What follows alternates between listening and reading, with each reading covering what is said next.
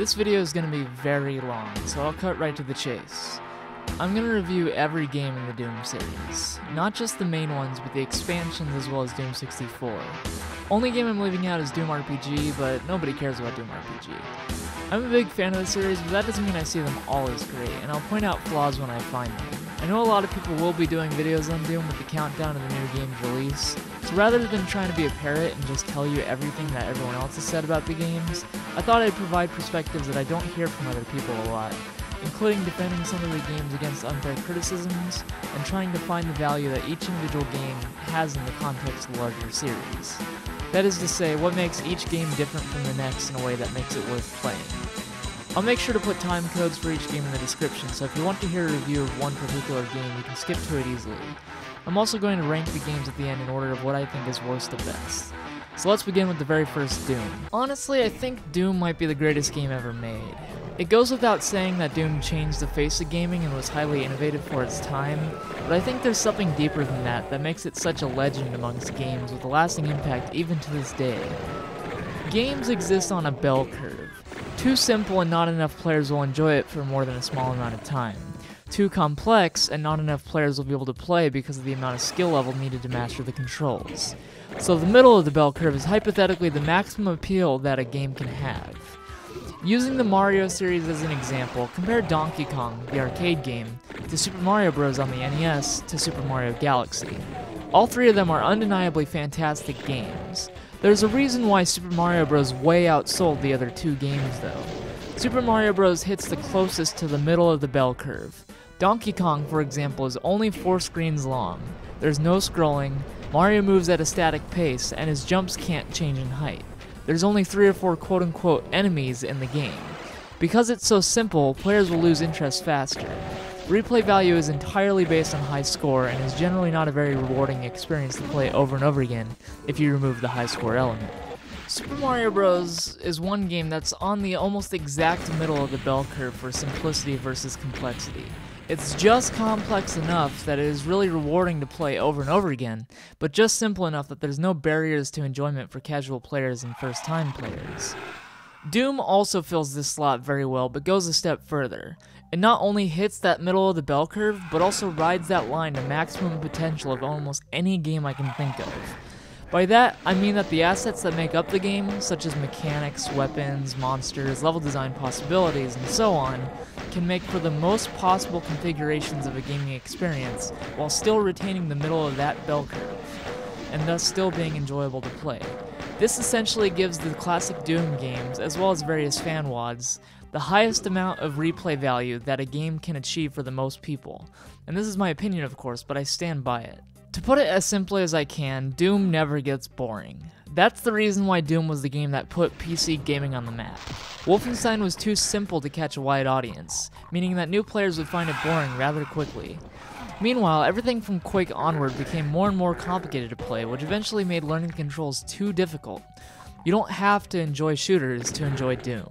It could be the first game you ever played and it'll still feel right, and still be an enjoyable, easy to understand experience. It was, in fact, my first game, so I can personally attest to this. Now that that's out of the way, I'd love to talk about the game itself, but that's kind of difficult because as far as I'm concerned, the first Doom game is actually three separate games. Those being Knee Deep in the Dead, Doom, and The Ultimate Doom. The game was released in these three ways, which honestly makes them three different experiences. I still have a shareware disc of Knee Deep in the Dead, and I will be honest with you. Until the past few years, I had never played any of the other episodes of Doom besides this one.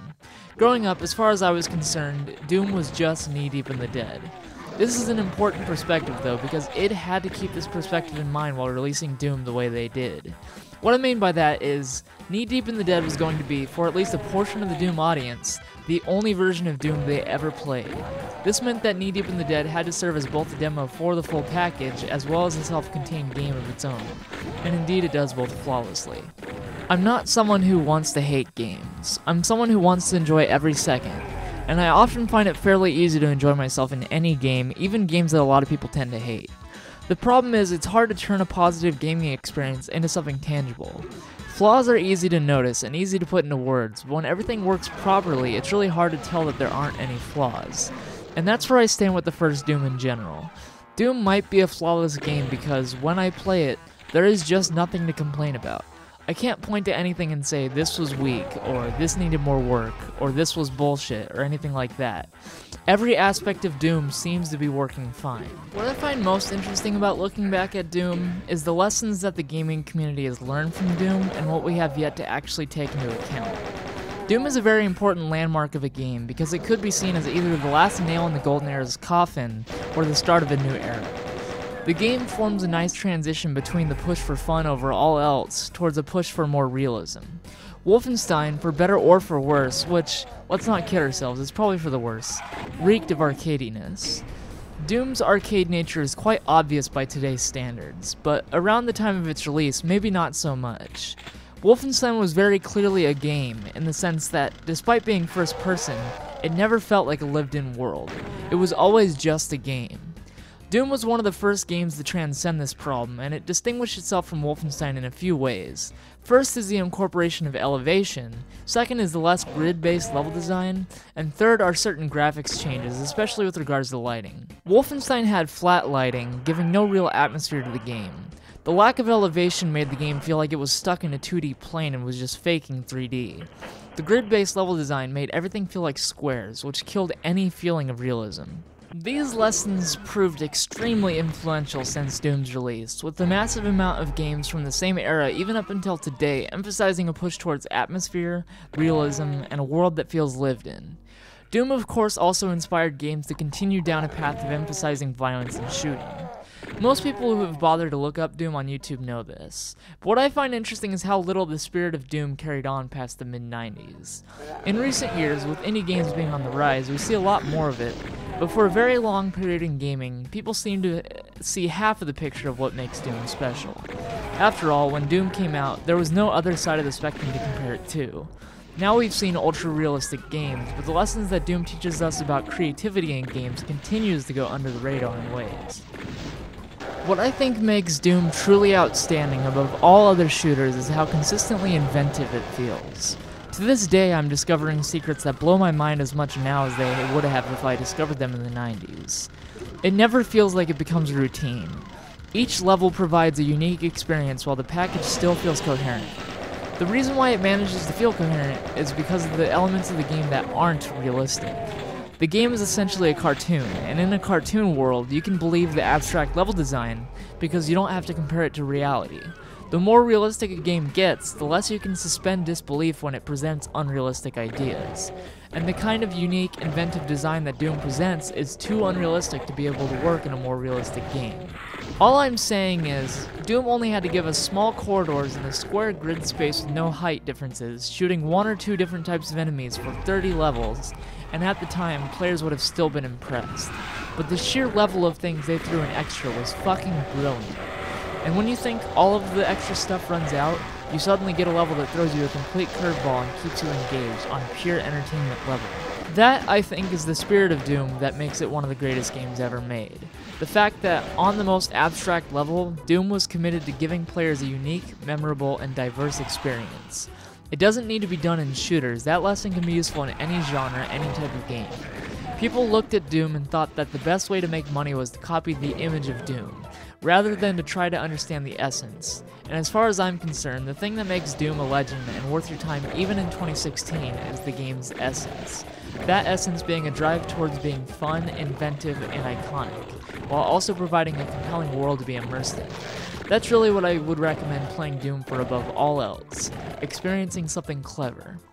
A lot of people misread Doom as a typical shooter because all shooters look the same from a distance, but when you start to realize how much fun Doom is having with itself, it sucks you in fast, and it rewards you with something worthwhile and new in each level, rather than just rehashing ideas to fill space. Again, it strikes a perfect balance. Any more arcadey and the game wouldn't be immersive any more realistic, and the level design would be lacking the diversity that it has. Diversity that is crucial to making Doom continue to work throughout the course of the game. However, this isn't the whole picture. See, these points are mostly about Doom, meaning episodes 1 through 3. I still haven't discussed episode 4, Thy Flesh Consumed. Now, like I said, Doom is a flawless game. The Ultimate Doom, however, not exactly. I'm very forgiving for a lot of things when it comes to games, especially when it's a part of a series I love. but Thy Flesh Consumed, despite being a fun episode, is not perfect, and in some small ways presents a problem. Here's the deal. Thy Flesh Consumed was created after Doom 2 and released after Doom 2. I'll get to my thoughts on Doom 2 after this, but needless to say, the amount of progress that they had made while working on Doom 2 shows very strongly when you play Thy Flesh Consumed. This is fine if you play the games in the correct order, but new players won't know the correct order.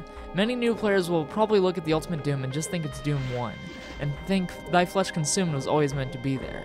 The problem is that with all of the progress in level design ideas and difficulty that had resulted from working on Doom 2, Thy Flesh Consumed is simply too fucking hard. So players trying to play through this series will make it through episodes 1 through 3 and enjoy themselves, and then episode 4 will come out of nowhere and be an absurd ramp up in difficulty. Not to mention, out of context, having both episodes 3 and 4 end with the Spider Mastermind makes the ending of the Ultimate Doom an anticlimax. New players won't be impressed by a rehash of a boss, which is also true of the Cyber Demon, who makes a couple appearances. Taking the Ultimate Doom as a self contained game, there is a massive pacing problem and difficulty curve that I don't think can be overlooked when you play it in that order. However, if you decide to play Thy Flesh Consumed after Doom 2, then it actually works out okay, because Thy Flesh Consumed is basically an expansion for veteran players. You aren't a veteran player after playing episodes 1 through 3, but if you stop there and play Doom 2 and then come back, then Thy Flesh Consumed makes more sense and isn't a frustrating blockade on the ability to progress through the series naturally. Having said that, even if you place it in that order, I do think some of the level design in Thy Flesh Consumed is a little weak, especially in the earlier levels of the episode. So, bottom line, Doom is a 10 out of 10 game. The Ultimate Doom, 9 out of 10.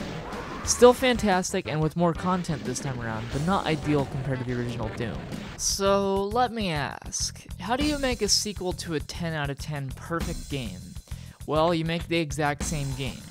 But I think that's unfair to Doom 2, because Doom 2 did one of the most simple yet effective means of making a perfect follow up to a perfect game. It expanded the ideas while making sure every new idea that was put in worked. Doom 2 is essentially a bigger, better version of Doom 1, with some slight changes that only expand the actual game itself a little, but expand the enjoyment that a player can get out of the game a lot. I'll get this out of the way right now. I think Doom 2 is better than Doom 1. Doom 2 may in fact be my favorite game of all time. Since they seem so similar from an outside perspective, I thought I'd take the time to point out what Doom 2 did differently that made enough of a difference for me to like Doom 2 more. First of all, I think the level design is a lot better in Doom 2, for a few reasons. It's much less cramped, and feels a bit more like exploring a world, and less like exploring a series of funnels. The levels are bigger, more of an open field, which makes the combat much less strenuous because you have more room to dodge projectiles, which is made up for by having a lot more monsters to fight. On top of that, the level design at times has a sort of Gremlins 2 effect, where the first Gremlins was a tightly constructed, perfect movie that did everything it set out to do. Gremlins 2 was a loose cannon of a movie that took the original idea of Gremlins and took it to whatever extreme they could get away with. Doom 2 occasionally shares this philosophy by indulging repeatedly in strange gimmicks, such as with the Crusher, Dead Simple, Tricks and Traps, Gotcha, Icon of Sin, and the Secret Wolfenstein levels. Doom 2 is at times almost a parody of Doom 1, taking the elements that made the first one work and playing with them like a toy. Because Doom was never a very serious game to begin with, rather than making Doom 2 a weaker game, it actually strengthens the game because it's showing us how far the creators can take the game into absurdity while still making it entertaining. The next major thing that makes Doom 2 more enjoyable is the incorporation of new monsters. What I like about all the new monsters is that they actually do a great deal to change the dynamic of a battle, making none of them really redundant. The Archvile is my personal favorite because his presence changed the dynamic of battle altogether, because he can hit you as long as he can see you, and he can resurrect dead monsters, meaning that you need to both be focusing on killing him first, but also staying out of sight as much as you can. The Revenant is another example where the dynamic of the gameplay changes when you encounter him, because his missiles are homing, and you basically can't lose them unless you get them to hit a wall, which means you're often having to run for cover and be conscious of both the Revenant and the missiles, which I think is a lot of fun and makes for a pretty tough fight. The last thing that I think makes Doom 2 a better game than Doom 1 is, of course, the Super Shotgun probably the best weapon in any game ever. I'll say this much, in terms of game feel, the Super Shotgun is probably the most satisfying weapon I've ever used, though I'd say it's a toss-up between that and the Gravity Gun. What I love about Doom 2 is, even though the weapon balance was perfect in Doom 1, Adding in a new weapon didn't upset the perfect balance, it only added to it. What I mean is, every weapon served a useful function in Doom 1. In Doom 2, the addition of the Super Shotgun provides a useful function while not devaluing the worth of any of the other weapons apart from maybe the regular shotgun, though I'd argue against that. The Super Shotgun has the power of a rocket launcher but also has no splash damage. The trade-off though is that the rocket launcher shoots faster and is much more effective at long range.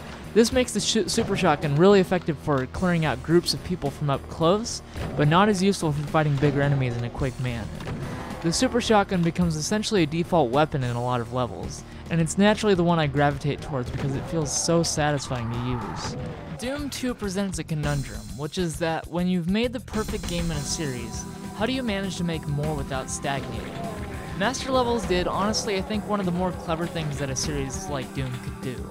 After all, capturing lightning in a bottle three times in a row without completely overhauling the core design of the game, that just never happens. So what happens when you've done the core game, you've done the perfection, and you've done the gimmick maps? Well, fan maps. Master Levels for Doom 2 is a series of fan maps, each made by different people. Since it still uses the classic Doom engine with no alteration, this is where my point about Doom being the greatest game ever comes into play. Taking the bare assets of the Doom engine, or the Doom 2 engine rather, you can get the most out of it. Master Levels is technically more of the same, but since the Doom engine has so much potential of ideas you can work with, being more of the same is far from a bad thing. And keeping in mind that these are fan maps, what impresses me the most about Master Levels is how professional it actually feels. The reason why I think fan maps was a great idea is because no matter how great the potential of Doom as a game is, the creators will run out of creativity eventually. You can't be expected to make 4 episodes of 9 levels, and then a 32 level game, and then continue to make clever, exciting levels. So outsource it to fans who have clever ideas that you never would have thought of, and that's where you get something like Master Levels. Well, like I said, the original 3 episode version of Doom is perfect and Doom 2 is perfect. Is Master Levels perfect? Definitely not. There were at least two levels that I couldn't figure out how to beat for the life of me.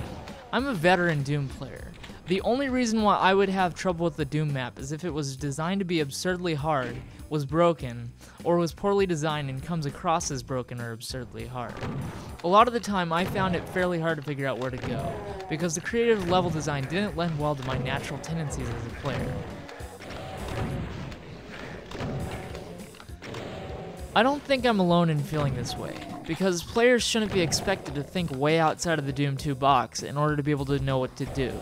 And the fan levels occasionally push the player towards ideas that we were never presented with before, which gives us very little to work with in order to figure out what to do and where to go. Two levels became unplayable because the designers didn't do a good job of guiding the player. I think that with a game like Doom, the best level design is design that can leave figuring things out up to the player while subconsciously guiding the player to the right answer. As in, if you can't find the yellow key, the game doesn't tell you where it is, but gives you some sort of indication of where to go. This can happen through monster placement, or funneling the player with the layout of the map, or placing an obvious secret of some kind. If I'm searching every wall looking for where to go, that's bad level design. With one of the levels, I couldn't figure out where to go using no clip. That said, apart from a few moments, the most surprising thing about Master Levels is that it doesn't feel like a fan game. It feels like an official title, and that's a very important accomplishment on the part of the creators, and on the part of id for finding the right people to get involved with. An unfortunate side effect of outsourcing the game to fans is that there are a lot of limitations, and you can't really transcend the core game very far, especially not back when Master Levels was released. As such, they reused the final boss from Doom 2, the Icon of Sin. The Icon of Sin to me always felt like more of a set piece than an actual boss. It summons monsters, but it doesn't attack you. So it's really just a battle against monsters, but with a wind trigger inside of a goat's forehead. This is where the seams show more than ever and make it clear that Master Levels is, in fact, a fan game. That said, the Icon of Sin in Mephisto, the level that incorporates it, is actually a really impressive set piece. And I want to give a special nod to whoever made it because I thought it was just a very clever idea to not only have four Icon of Sin goats with monsters in their heads, but also to have a level that actually fucking builds up to the Icon of Sin for once, rather than just placing you right up against it from the start. Additionally, the part where you actually fight it is less of a pain than it was in Doom 2, which is good because if it were a pain, after all of the build up to it, it would become tiresome to play the level. Rather, this version of the Icon of Sin is just a good level that has an Icon of Sin at the end, rather than constructing the entirety of the level around shooting rockets into goat skulls, which would be really boring to have to do a second time. All I'm saying is, Mephisto is a prime example of how fans can take the core assets of Doom and make something unique and memorable out of it. Master Levels isn't a perfect game, and it really isn't a game so much as an anthology of fan levels, but it is a worthwhile addition to the Doom series and definitely worth checking out. If there's a key point I'm trying to make about the classic Doom era, it's that Doom is the game with the most potential. The main ideas of the game allow for a lot of creative, interesting ideas that are not only easy for designers, but enjoyable for players. You don't need to overhaul the engine or reinvent the game, or know massive amounts of coding in order to make a great Doom game. You just need some good ideas. Final Doom does not have good ideas. I'll be direct about it. Final Doom is kinda shitty. If Doom 2 was pushing the engine to peak performance, Final Doom is pushing it past peak performance and derailing it entirely. Doom 1 and 2 were seamless. Final Doom stresses out the core ideas so much that it inevitably shows the seams. It demonstrates the limitations of the engine by pushing the player to those limits. What I'm trying to say is that Final Doom may have been a mistake. Final Doom is yet again a fan game. But it's not one game, it's two games. It's two 32 level WADs. That's 64 levels, almost as long as Doom 1 and 2 combined. And these are fan games. Not only that, but they're fan games that are built around being challenging. So even if you were to think of Final Doom as a quote unquote good game, it's still only a game for veteran players, at the expense of absolutely everyone else. I beat Final Doom for the sake of this review. If I wasn't recording footage, I probably would have given up, and I have been playing Doom my whole life. So why does Final Doom fail where the previous three games succeed? Well, apart from being too long, it's better to look at the games individually. First is TNT Evilution. Yeah, that's right, it's called Evilution, which I guess means they must have been reading a lot of Texas biology textbooks. Evilution gets just about everything wrong with regards to being a Doom game. Doom 2 taught a very important lesson about the Doom engine, which is that the more open the level design is, the better, because it allows players to navigate the space seamlessly, and also allows players to have a better idea of where they're going and have an easier time avoiding projectiles. Evilution takes the opposite approach. Well, let's just cramp the design as much as we can. These rooms need to be smaller, damn it. I don't want to be playing Doom unless I feel like I'm stuck inside someone's colon. The cramped level design just absolutely destroys any chance to have the game be a fun experience. Every level I found myself constantly looking for where to go, because it's hard to tell where I have and haven't checked, because I can barely tell where areas are in relation to each other since I have no visual indication because the walls are so cramped. This is a game where using the computer map not only becomes beneficial, but absolutely necessary, and that's not how I like to play Doom. Not to mention, it's so cramped that at times you can't even move properly, and dodging projectiles becomes absolutely impossible, meaning that the fun of the game is entirely taken out at points. The second problem with Evilution is it's too damn cryptic. I mean, I like cryptic gameplay to an extent, but this game got it all wrong. When trying to figure out what to do, like I said, a good game will subconsciously guide the player, so they never get too lost, but they always feel like they're the ones figuring things out, rather than the game spoon feeding them. Evilution prefers to take an approach of putting you constantly at dead ends, and then secretly allowing you to progress without letting you know it's an option. What I mean by this is, there will be levels where your actions will open a door or a wall somewhere on the other side of the map. You don't hear a sound when it triggers, so you don't know it's open. You just have to remember that you saw a door that wouldn't open, and then check to see if that's where to go next. Combine that with the cramped level design, and you find yourself unable to remember where the door even fucking is, because you can't tell where anything is in relation to each other, because all you see are walls everywhere. The game doesn't funnel you towards the right answer, but rather blockades any and all progress until you scour every last inch of every last wall, trying to find the one hole that you can crawl through it turns into a rat maze, and not in a good way. The third problem with Evilution is that a lot of it is design that seems more for the benefit of the designer than the player. As in, the game comes up with a lot of ideas that sound smart or clever or interesting on paper, but in practice are insufferable. Take this example, in the level so bafflingly titled Metal. So perhaps the first moment in the entire game where the level design doesn't cramp your ass cheeks together, and it's this, I don't know what word to call it, puzzle? Time waster? I don't know. So you're in this big room and there's these buttons. You press a button which activates the lift. Then you press another button which lowers the lift. Then you get on the lift and jump over to press a button that opens another lift. The designer must have thought it was a clever idea because it just repeats on a loop for like 3 minutes. But it's fucking boring. The first time where the level design isn't painful and it's still painful in a whole new way. I like to compare it to trying to do your taxes while riding on a subway train in Japan. It's boring, it's cramped, and it's painful. But it seems like a good idea hypothetically because you think you're killing two birds with one stone. But really, you're just killing two brain hemispheres with one shitty game. Now, it's fun to joke around and bash a game, but in all seriousness, I want to give Evilution credit because it is a fan game. It shouldn't be held to the same standard as an official title, and it'd be unfair to compare it to something like Doom 2. But by making it an official title, it was already comparing it to Doom 2, by saying, this is of sufficient quality to stand in the ranks of the previous Doom titles. It simply isn't. Even by fan game standards, it doesn't stand compared to master levels, so even by fan maps, it's kinda weak. If I were to play it as a fan WAD with absolutely no idea that it was an official release, I would be willing to say that it was actually a good fan WAD. But as a Doom game, not just a fan WAD, it's honestly kinda terrible, and a negative mark towards the Doom series. I mean, even the music is poorly done. The sound levels aren't proper, and some songs will get so loud that they'll empower the sound of the gameplay entirely, and I swear I can hear clicking.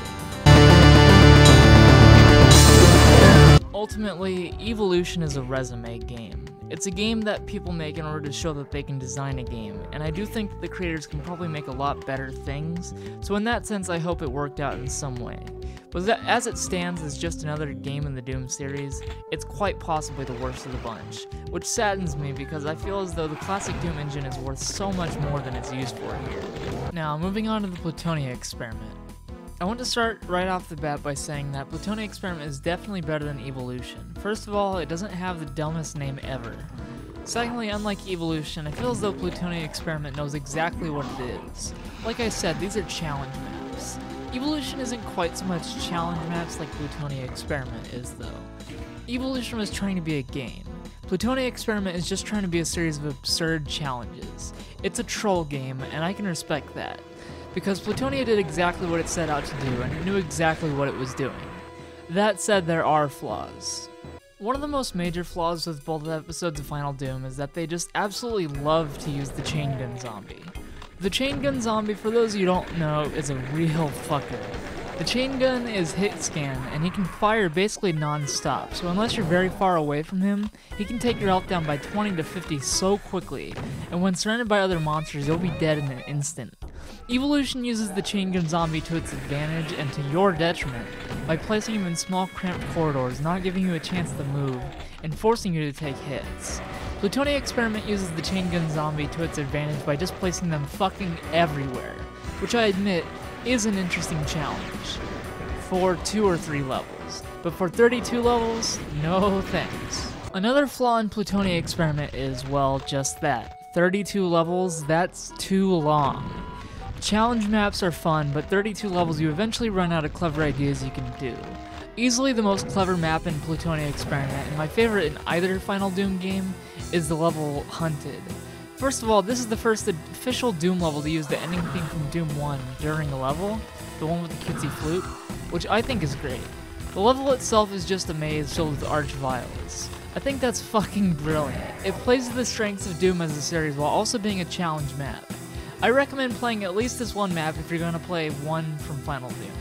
This is something I would have loved to see in Doom 2. It's the kind of gimmick map I'm looking for more of. However, Plutonia Experiment doesn't devolve into gimmicks enough to be memorable. The levels all blend into a mesh of revenants, chain gun zombies, and brown color palettes. What I'm saying is the game is fun at times, but never really creative enough to justify being a full 32 level WAD. Overall, another flaw of Plutonia Experiment is that it's too hard. It didn't bother me at first, it only started to bother me when I was halfway into the game and it was more of the same shit, but this is a game only for veteran Doom players, which I think is just a bad idea when looking at Doom's legacy. I think that the series should be able to have a consistent quality of openness to players. It doesn't necessarily have to be easy, but it should only be slightly harder than Doom 2. It shouldn't be such a ramp up in difficulty that it leaves players unable to beat it. An average player progressing through the series would probably want to skip Final Doom based on how it's designed, and that's a flaw if you ask me. And like I said, I would have skipped Final Doom if I wasn't reviewing it, because even when I am able to beat it, it's boring. It's not engaging. I do want to take the time to say, though, that the Icon of Sin in Plutonia Experiment was a very well done level. Again, it's a challenge map, but it may in fact be my favorite version of the Icon of Sin, though it's a toss up between this version and the one from Master Levels. This one's fun because there's a cyber demon blocking your path, and there's several enemies already positioned in the level, making it immediately a challenge to a degree far beyond that of the original Icon. It's the only other level of Final Doom that I can wholeheartedly recommend, if you'd like a fun, absurd challenge, that is. Basically, don't play Final Doom unless you're a dedicated Doom fan. Don't bother with Evilution at all unless you feel the need to complete every Doom game, and don't bother with Plutonia Experiment unless you want 30 levels of repetitive challenge maps and chain guns galore.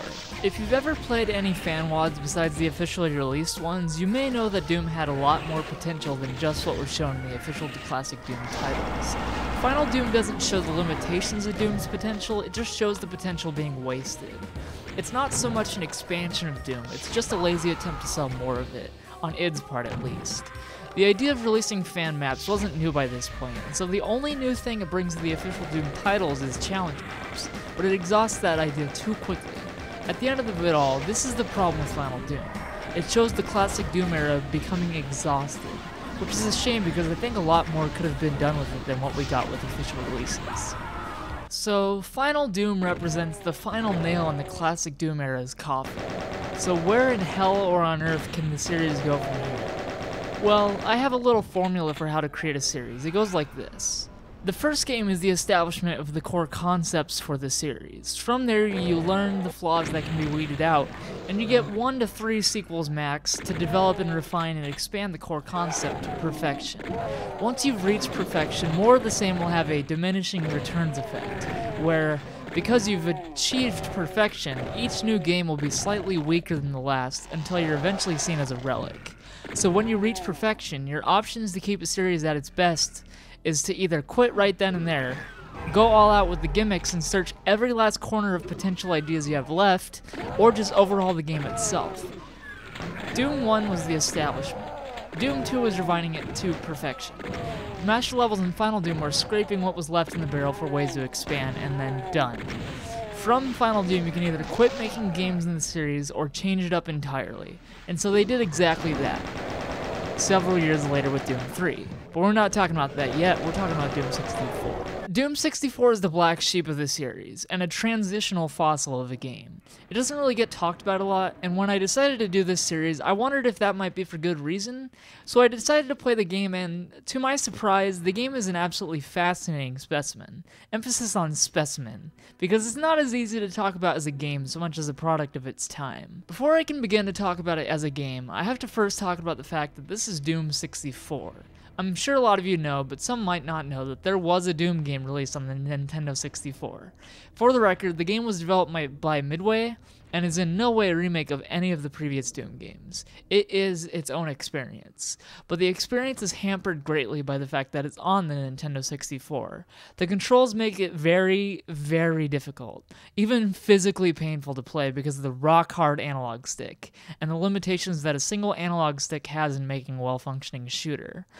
On top of that, the game had to cut a few things, including some monsters from the classic Doom games, and the level design goes back to knee deep in the dead territory of small level design, which is a noticeable step down for the open environments of Doom 2. The fact is, I can't beat Doom 64 on the N64.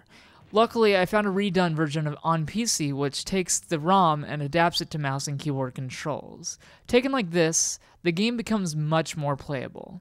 But this presents a conundrum for the review because I can't review it as though it were a PC game.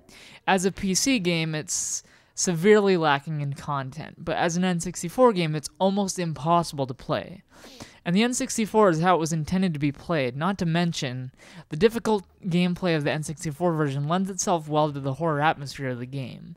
This means that there is no definitive version of Doom 64, and I can't really review it as a PC or N64 game. But all things said and done, I played through the PC version. I'm gonna say what I have to say. I just want viewers to keep in mind that a lot of complaints about this game can be forgiven because this game was intended to be played on the N64, and that if you choose to play the game for yourself, you should probably do the PC version, but if you do that, you have to keep in mind that a lot of the weak points about the game stem from it being intended for the N64. My personal little nickname for Doom 64 is Doom Quake, because that's what it feels like. Again, this is a transitional fossil of a game. Doom 64 shows exactly what game developer priorities were in 1997. Thanks to the popularity of Quake, Doom 64 carries over the dark, brooding atmosphere. Long gone are the bright colors and heavy metal music of the classic Doom era. But Doom 64 also carries over an almost literal translation of classic Doom gameplay. In addition to that, Doom 64 also carries over some environmental hazards that were introduced in Quake. This was also the first step the Doom series took towards a more overt horror atmosphere, and I would be willing to call this the most horror based of the Doom games. And yes, I'm saying it's more horror based than Doom 3, but we'll get to that later. Doom 64's graphics are 2.5D like before, and managed to do some impressive new feats with the 2.5D engine, including having bridges with walking space underneath them. In classic Doom, you can never walk both on top and underneath an object, and they use some engine trickery to create that possibility in Doom 64. On top of that, Doom 64 has much more realistic textures, and at times reminds me of Quake, but also at times reminds me of Quake 2. I wouldn't call it an aesthetic improvement over Classic Doom because I love the Classic Doom look, but it is what it is, and it's impressive to look at. Again, this isn't Doom treading the same ground, it's Doom trying to become something else, and it works as that. I also think the lighting in Doom 64 is actually a huge step up from the previous Doom games. The lighting in Doom 64 is incredible to look at, even by modern standards, simply because it evokes an atmosphere very well. In fact, if there's one complaint I have about Doom 64, it's that it doesn't play enough with the lighting. There are mo moments of visual brilliance here, but not enough. The graphics aren't always an improvement. The monsters in particular look like ass. They look like they were molded out of clay. They stand in stark contrast to the rather decent environments and look cheesy, which undoes some of the horror atmosphere. I can get behind the looks like clay aspect if they were going for a more surreal form of horror, but they definitely weren't, and so it simply looks bad. The monsters have also been redesigned in a lot of ways, and they all look worse, every last one of them. The Cacodemon, Arachnotron, and Mancubus look especially bad. While the horror atmosphere is interesting, I wouldn't call it better than the classic metal soundtrack of the previous Doom games. But the sound design overall has taken a few steps down, especially with the monsters, which just sound so poorly done. The monsters in the classic Doom engine sounded like monsters, and here they sound like people doing bad impressions of the monster. What I'm saying is, the game reeks of Nintendo 64 game design philosophy. It's a shame though because when you ignore the aesthetic steps down, the gameplay itself is actually very enjoyable. Again, this is undone if you play the N64 version, but if you play the PC version, the game is actually a lot of fun. Despite looking like Quake and trying to emulate Quake, the gameplay is pure classic Doom. It's a little more vacant than previous Doom entries, and less of an open field than the later episodes of Doom 1 and the entirety of Doom 2. But it provides a unique and fun experience in the Doom series regardless. While the game's priorities weren't straight with regards to the monster designs and the sound design, the level design is at times very impressive, including some new expansions from the previous Doom games, including more challenging puzzles that make the player think in new ways compared to before. The game is significantly easier than Final Doom when played on the PC, but it still presents quite a challenge, which makes the prospect of playing it through on the N64 a very daunting idea. Ultimately, when you play Doom 64, you're playing a classic Doom game that wants to be a classic Quake game. That in itself is interesting, and it makes Doom 64 one of the more interesting additions to the Doom series, but I tend to see the Doom and Quake series as going in hand in hand, and Doom 64 dates itself by trying too hard to compare itself to Quake. As a Quake fan, I can only recommend Doom 64 as an oversimplified version of the original Quake. That may be interesting to some people, myself included, but it becomes hard to recommend because we already have Doom 1 and 2, and we already have Quake, both of which do the core concepts going into Doom 64 better. It's a Reese's peanut butter cup of a game that doesn't have particularly tasty chocolate or peanut butter. There are moments of brilliance in Doom 64 that the game could have used more of, and that the entire Doom series could learn from. The brilliance shows itself in the form of three things the expansions that the game makes towards active environments, the use of occasionally more creative puzzles, and the Mother Demon. In all Doom games, the environment is an enemy. This shows itself in classic Doom through the form of lava and green slime. But in Doom 64, you get moments like this.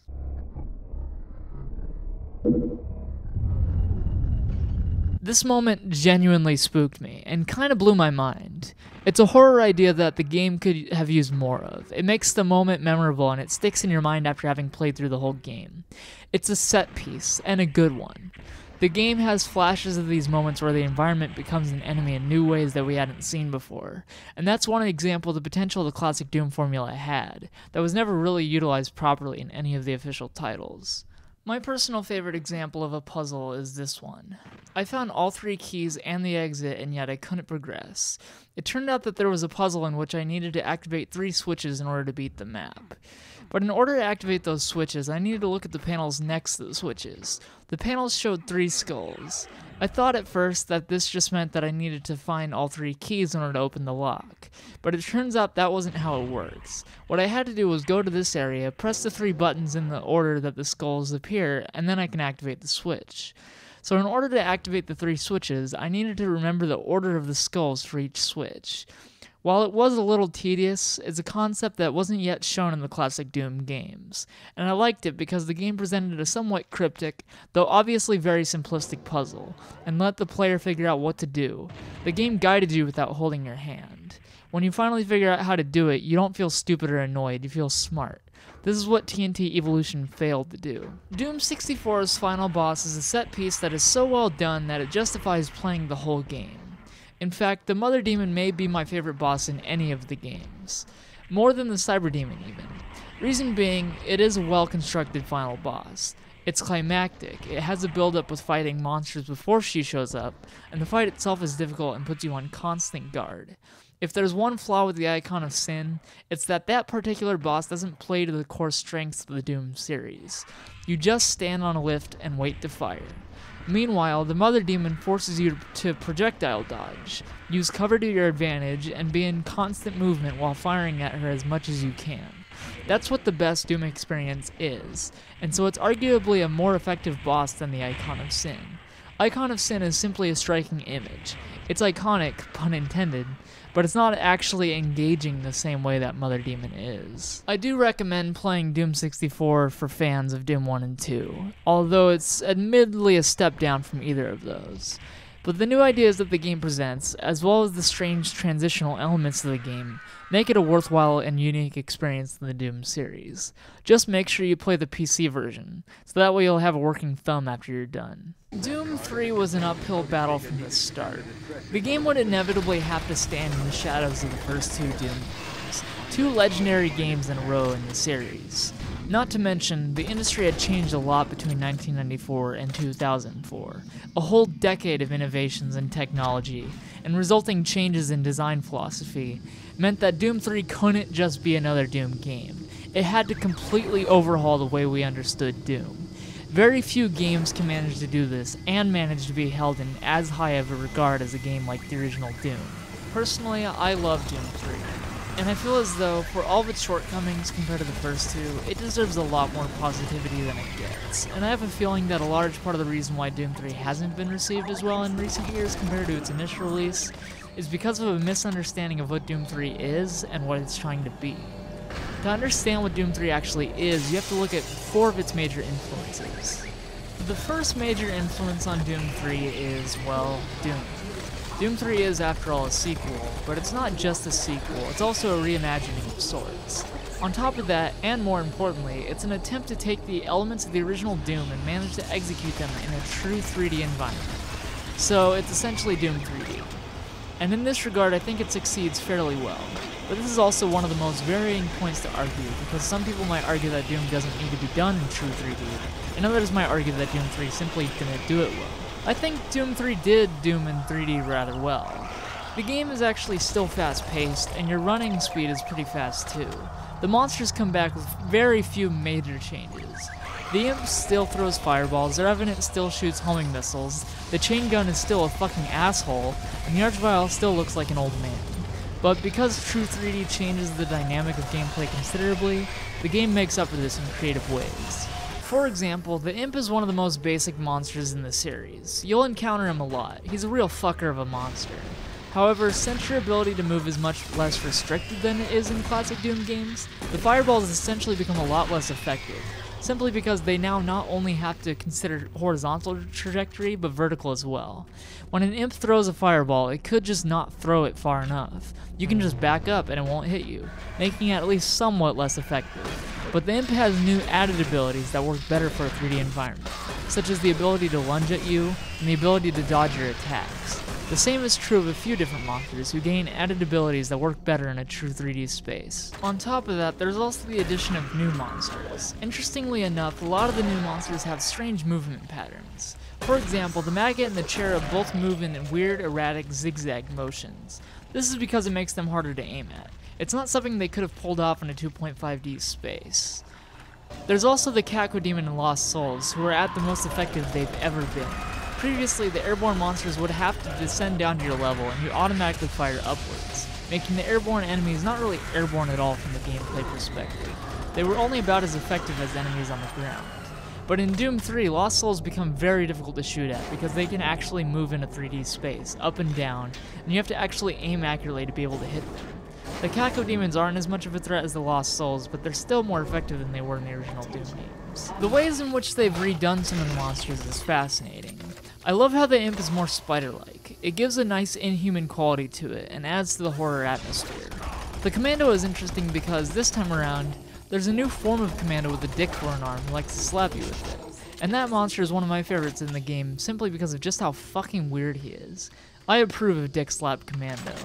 The Hell Knight is a beast in this game, and it makes sense that they'd put him on the cover, even though that honestly makes for a somewhat boring cover. I think the weapons are a great redone version of what they were in the past.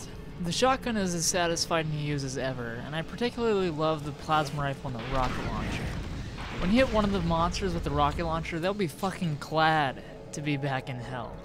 It looks like the most painful thing ever, and it's just such a joy to use when you get the chance. Now I can go on forever about the details of why Doom 3 is a nice, true 3D version of Doom, but it's not all for the best. Some aspects of Doom have been abandoned for Doom 3, but this is where we get to another important influence on the game. Have you ever played a little game called Half-Life? Because my god, Doom 3 is such a ripoff of Half-Life. I noticed this very recently even though I've been playing both games for years, but yeah, Doom 3 is a direct lift from Half-Life in way too many ways. Let me list them off. 1. You play as a silent protagonist. 2. You start the game off with no weapons. 3. You're placed into a science facility and asked to get to an important part of that facility. 4. On your way, you see the main villain, a slimy guy who talks like a snake, talking to another one of the scientists. 5. Also along the way, you can interact with the environment, including talking to scientists and security guards, most of whom want you to just leave them alone. 6. When you make it to the important part of the facility, a cataclysm happens, and a portal is opened to another world where a bunch of monsters come out. 7. From there, the rest of the game becomes a series of going from one location to the next, surviving alone but occasionally receiving help from other people who have survived the cataclysm, until you go to a complex named after a Greek letter and enter into the portal to the other world. 8. At one point in the game around the halfway mark, you lose all of your weapons for some reason and need to get them back. 9. There's even new monsters that act like head crabs. The similarities mostly end there, but one of the key aspects that Doom 3 took from Half-Life, which adds to the realism but takes away an important part of what made the original Doom games great, is the linear, realistic level design. Half-Life took place in a facility, and it wanted to give off the impression that, at all times, you were in one consistent location. Half-Life didn't have abstract level design. The game was designed to give every room, every inch a sense of realistic purpose. A room was not just an arena for monsters, it was also a boardroom, or a hangar, or something. Doom 3 carries over this design philosophy, which is important for the tone that Doom 3 strives for, but ultimately makes Doom 3's levels individually less memorable than the classic Doom games. The bottom line though is that Doom 3 eventually had to take cues from Half-Life, because Half-Life was a highly influential game, and if Doom 3 went for pure classic Doom, it would have seemed like a relic. Doom 3 took too many elements from Half-Life, however, and that's why, at this point in time, Doom 3 seems more dated than it should. Classic Doom is timeless, but Doom 3 is remarkably 2004 in nature, which is only a minor flaw for me, because there was no big way around some of it. Abstract level design could not have worked with the tone they were after, so it's a trade-off where you can either value the tone and let the level design be less important, or you can value the level design and make a game that, at the time, everyone would have hated. I think Doom 3 strikes the best balance it can in that regard. But when it comes to the story elements of Doom 3 and how derivative of Half-Life it is, that is a real problem. Not only because it's derivative, but because Doom as a series doesn't work well with storytelling. I know a lot of people like to point out that the original Doom games have supposedly no story, there is technically a story, and I'm sure a lot of people see the story in Doom as an obligation. Just a simple, yeah, we'll throw you a bone so you don't bitch at us for making a game that's all fun and no plot. I see it differently. I see the story of classic Doom as a way to contextualize the action of the game. Basically, you can feel badass just by playing the games, but the story gives you an understanding of why it's badass. You're not just shooting monsters, you're shooting monsters as the last man on Earth against a horde of bloodthirsty demons who killed your pet bunny. Doom's 3 story isn't empowering in the same way. It's just there. It serves a functional purpose and does honestly feel there out of obligation, and that's a flaw. I say skip the cutscenes and blast away. The third influence on Doom 3 that I think gets overlooked, and I could be wrong about this, is Total Recall. I don't know if any of you have seen Total Recall, but that film is a combination of two basic things non-stop action and some satire elements thrown in.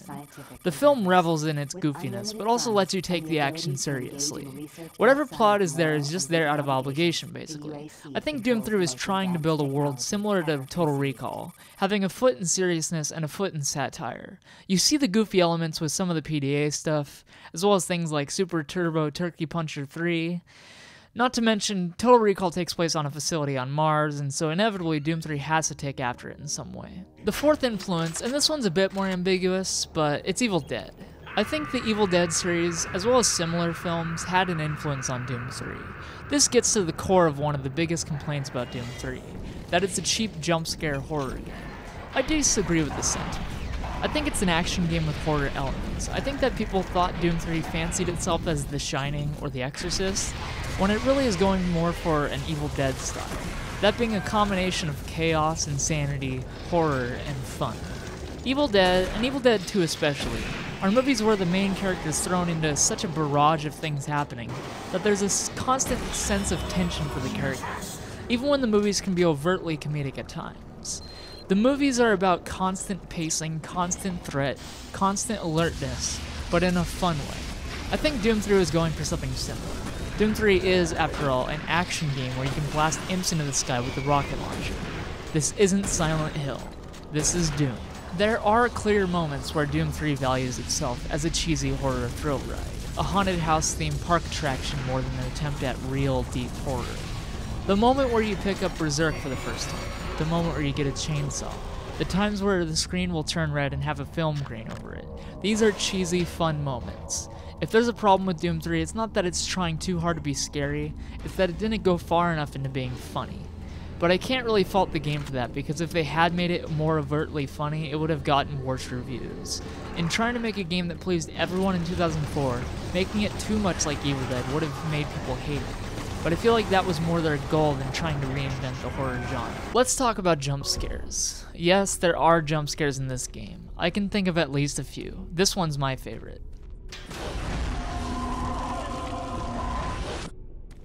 However, I think people have a false image in their heads of Doom 3 being a jump scare heavy game. It really isn't. It's a design thing, I think, that has been misconstrued as jump scares galore. So let's say a monster enters the same room as you behind you. It makes a noise. You freak out because a monster is nearby. Is that a jump scare? No. It does have an element of horror, but more importantly, it's just a necessary design tactic. When an enemy in any first person game appears, and you're supposed to fight it or get away from it, the only way you'll stand a chance against it is if you know where it is. If a monster appears in your area and is alerted to your presence, it has to make a noise for you to know, because if it just sneaks up on you, it could kill or at least greatly damage you, especially on higher difficulties, without you even getting the chance to know it's there. That would make almost any game less fun for most players. So in order to know that a monster is nearby at all, the noise is necessary. Otherwise the designers have to design the game so that monsters only ever show up in front of you, and that'd be boring. What I'm trying to say is that when monsters make noises, that's not a jump scare. It's a basic gameplay feature that's necessary in order to be able to play the game well. Since the noises are themselves unsettling at times, it is a horror element, but it's not a jump scare in itself. The game isn't heavy on active scares. Rather, the game is going after that Evil Dead style of constant tension, always being ready for the next thing. The game gets one step ahead of you, so you have to get one step ahead of it. That to me is how you do an action game properly and Doom 3 succeeds and strides as an action title. The horror elements serve to add to the tension of the game, which adds to the action element, and so it doesn't really belong in comparison with Amnesia or Silent Hill or Resident Evil, but rather with Half-Life or Quake or even Halo, all of which have horror elements. But Doom 3 brings those elements to the forefront, which I think gives it a unique voice among action titles, especially for its day. I would also compare it to Fear, but Fear is also much more overtly trying to be scary, and actually does have an abundance of jump scares. There's four bosses in the game, and they're all interesting, but by far the best ones are the Guardian and the Cyber Having a boss battle at all is not something you've seen in shooters since around the time of. Usually the climax will be a set piece, such as the Warthog ending of Halo, or the shoot a naked girl in the face ending of Fear. If you ask me, the best bosses in games are the ones that play to the strengths of the gameplay while offering a somewhat unique challenge as opposed to a normal level. The Icon of Sin was simply fight monsters and then shoot some. The Vagary and the Ugly Tank guy, I don't remember that boss's name, are pretty weak bosses because you just shoot them. That's the boss. But the Guardian is interesting because you have to shoot the Seekers that fly around in order to blind it, and then you have to shoot the orb that it farts out in order to recharge. The gameplay hasn't changed, you're still running around avoiding monsters and shooting, but there's an element of strategy that changes it and makes it different from a normal monster encounter. The Cyber Demon is similar because you have to build up a Soul Cube charge in order to hurt it by killing monsters. So you have to be consciously avoiding the Cyber Demon himself, as well as his rockets, and killing monsters to build up a Soul Cube charge in order to hurt it. You also have to make sure the Soul Cube hits him and not another monster. If I were to point to the biggest flaw, it's that the game gets too repetitive after a while. One of the problems with a game like this is that once the core gameplay is established, you have to keep adding on new things, and eventually you have to plateau and not add new things. Reason being that if you keep adding new things, there's no uniformity to the game. But the negative effect of that is that 25 levels into the game, you're still fighting imps just like you did in level 2. Sure, there's more and more monsters added on, but it becomes repetitive because you run out of new things to do, and you eventually get a few levels where it's just all of the monsters you've already encountered. With Classic Doom this is fine, because the level design can make up for running out of monsters. I mean, Doom 2 had only a few extra monsters and only one extra gun, and yet it was massively entertaining because of how they handled the level design. But with a game like Doom 3, going for realism, it inevitably has to suffer from pacing flaws. Overall though, I think Doom 3 was a very strong success in everything it set out to do. Given the limitations they had, there was no way they could have done it perfectly and no way they could have pleased everyone. I'd still personally give an 8 to a 9 out of 10, because the things that it gets right, it gets so right that it becomes an entertaining experience that you can really only get from Doom 3 and later expansions. I didn't even mention how the graphics are pretty good, the lighting is again incredible, and the sound design is top notch. A good expansion, if you ask me, is an expansion that gives you more of the same, but throws in some fun new ideas and gimmicks to make it a bit more fun. Resurrection of Evil does this pretty well. Resurrection of Evil is almost at times like a more playful version of Doom 3. Sure, it emphasizes the horror even more strongly, but it also empowers the player a lot more in fun ways that often turn out goofy. All I can really talk about are the new monsters, weapons, and level design. I would talk about the plot, but who gives a fuck? Doom 3's plot wasn't that good anyways, and Doom's never really been about the plot. The first new monster is the Forgotten One, which is just a cheesier Lost Soul. I kind of love these things because they're probably the cheesiest monster in the Doom 3 games, and they're so utterly useless. The second new monster is the Vulgar. This thing is fascinating to me because I swear that it's supposed to be a Doom 3 version of the Nightmare Imp. The Vulgar is basically an upgraded imp, and it makes the imp completely useless in the game, though they still use the imp a lot in ROE. The Vulgar is more nimble and has more cat-like qualities to it. The third new monster is the Bruiser, and this fucker can be a real pain. Honestly, the Bruiser might be the weirdest monster I've ever seen in a video game. It's all because of that weird TV screen for a mouth with human teeth. Who came up with that? What's the idea there? Honestly, like, I won't lie, I can't tell if the TV mouth makes the Bruiser lame or actually kind of creepier. I don't know, but the Bruiser is a hard mofo and he fucking loves it. He's got a shit-eating grin and he walks with a pompous arrogance. Fuck that guy. The new bosses are kind of interesting too, I guess. The Maledict is a shitty boss, because you just shoot him. But the first three bosses use different tactics that are fun. My favorite boss is the third one, the one where you have to shoot the cores. Honestly though, there's so little to say about them, they're just kind of there. The new weapons are strange. Very strange. The first one is the Grabber, which is in no way similar to the gravity gun from Half-Life 2 at all. Honestly, like, I don't know why the Grabber is in this game. It's so clearly derivative of Half-Life 2, which had only come out the year before this game. It's a clear example of a game dating itself horribly by trying to cater to influential design trends. The gravity gun is such a brilliant idea in Half-Life 2 that no game can rip it off without being worse for it. That said, I wonder if the idea behind using the grabber was a cynical, we gotta have a gravity gun because Half-Life 2 made a ton of money and has one.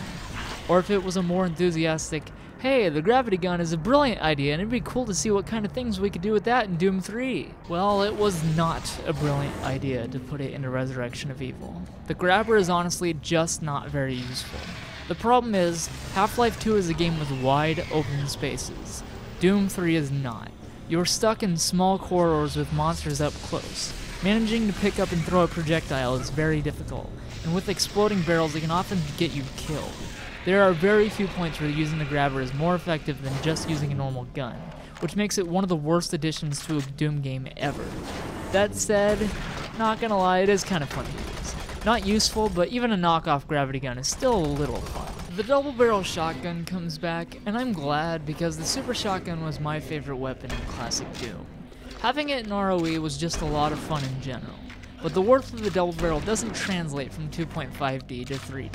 The reason why the double barrel is so useful is because it provides a spray and can take out a lot of characters at once. The slow reload time was made up for by quickly clearing out enemies. Here, you have to be pretty accurate to use the double barrel, which is more difficult in a true 3D space. And even then, you can't spray and hit multiple people at once with the same effectiveness as classic Doom, which makes the double barrel kinda useless, especially because it maintains the slow reload time. It's fun to have, but the plasma rifle completely removes the need for a double barrel. The artifact is, by far, my favorite addition to the game. With each of the first three bosses, they give you a power-up. With the first one, it's the ability to slow down time. At first I thought this was a ripoff of Fear, but Fear came out after ROE, so I'll give them credit for having a cool mechanic that this time around was not just a shameless ripoff from a better game. The second boss gives you basically super berserk powers, like super speed and strength, I think. This is my favorite thing in any of the Doom 3 games, because it's so much damn fun to use.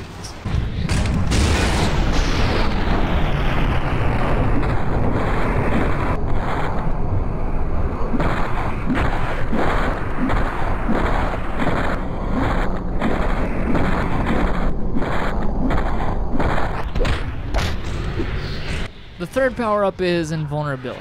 Alright, cool, I guess. The level design is basically more Doom 3. If you weren't getting tired of Doom 3 by the end, then ROE is fine. For me, it's a little redundant, and that's really the biggest flaw of ROE. It's redundant.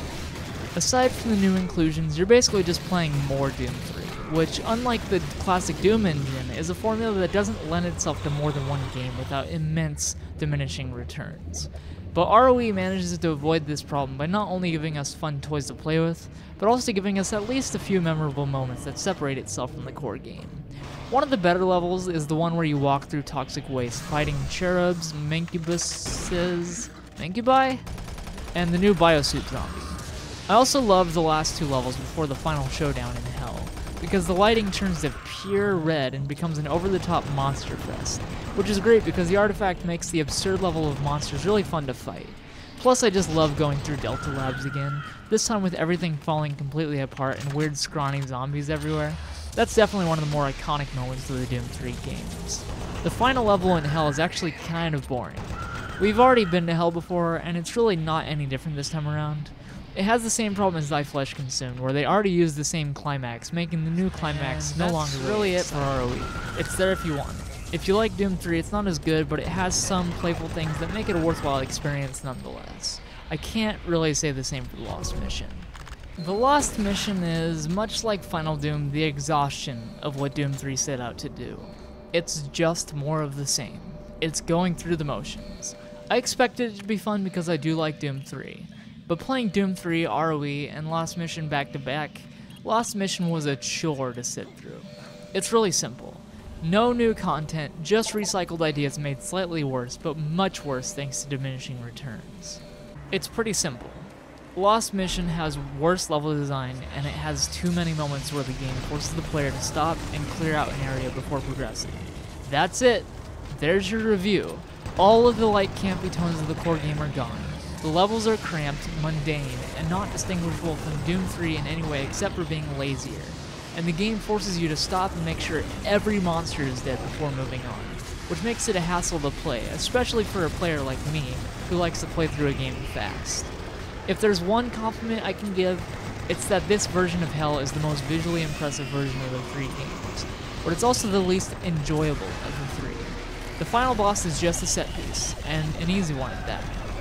And that's really it. The Lost Mission is just boring. And there you have it. The Doom series, reviewed in full. Is it a perfect series? No. There's at least two or three hiccups. And no series can make it through nine games and still be continuously top notch. Not to mention, Doom is a shooter. Shooters can't reinvent themselves the same way that other genres manage to. Despite this, the Doom series managed to avoid stagnating too hard. That is, until we get to the new Doom, aka Doom 4. I haven't seen much of it yet, and it's not out yet, but I personally have a lot of worries about it. We've seen Doom done, perfected, and then exhausted in a 2.5D space. We've seen it reimagined and then exhausted in a 3D space. Now all the Doom series can do is either start over as if the first game never even happened, or just rearrange the elements that are already there. The new Doom may be a lot of fun, but I doubt it's going to be fun in a way that makes the Doom series fresh again. I know that it takes influence from Bru- Brutal Doom, and that aspect will probably make it a worthwhile experience, but the Doom series can't really go much further than it already has, meaning that any next step will be a wrong one on some level.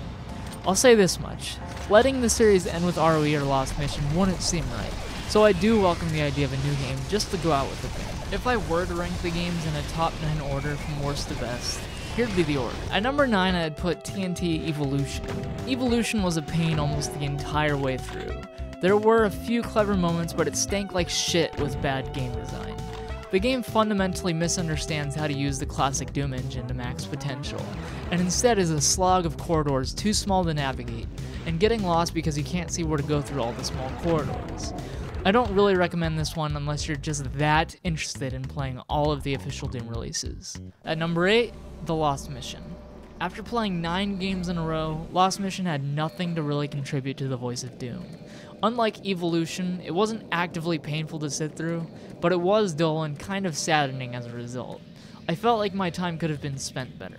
I don't recommend it to anyone but completionists. At number 7, The Plutonia Experiment. Another pain through, but unlike Lost Mission, Plutonia Experiment provides a unique voice for Doom. That of being a series of maps designed to be a challenge specifically. It's cheap as hell and trolly as hell, but it has a playful attitude with these things.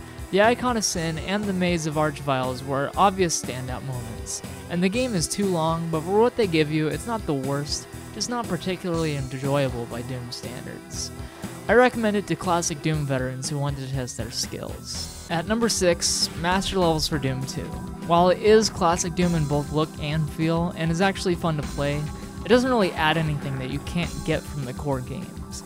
It feels like a collection of B-sides, levels that are fun but don't actually provide much beyond that, and ultimately one of the less interesting games, though still worth the time if you want more after having played 1 and 2. At number 5, Resurrection of Evil.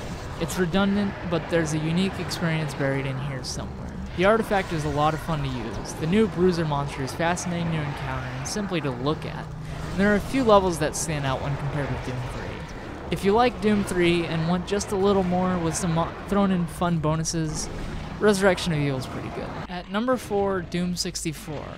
Doom 64 is probably the strangest game in the series. For this reason alone, it's worth checking out because it is such a product of its time, wrestling between trying to be Quake and trying to stay Doom.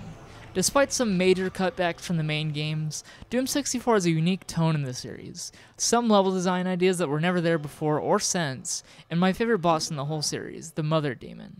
I recommend it to anyone who likes both Doom and Quake. Just make sure you play the fixed PC version. Unless you're a masochist, then the N64 version is fine too. At number 3, Doom 3. Doom 3 is very, very good. It gets a lot of things right, and what it gets wrong can be ignored pretty easily. The game puts you in a state of constant alertness, which I think is a great way to help an action game stay exciting. The ways in which they reimagine classic Doom in a true 3D environment are definitely worth checking out, and the new additions to the series are so many that it immediately distinguishes itself as a different experience.